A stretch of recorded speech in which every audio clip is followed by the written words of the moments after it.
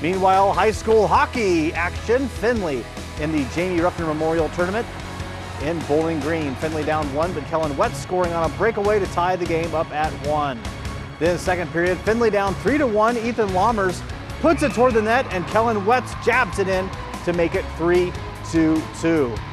Findlay come back on third period. They need a goal to tie. AJ Savage going top shelf. That's a wonderful name to have as a hockey player. He makes it even at four, so we head to overtime. Findlay with the breakaway, Mason Greenwald firing into the back of the net for the OT winner. Findlay completing the comeback 5-4 in overtime. Trojans getting the win.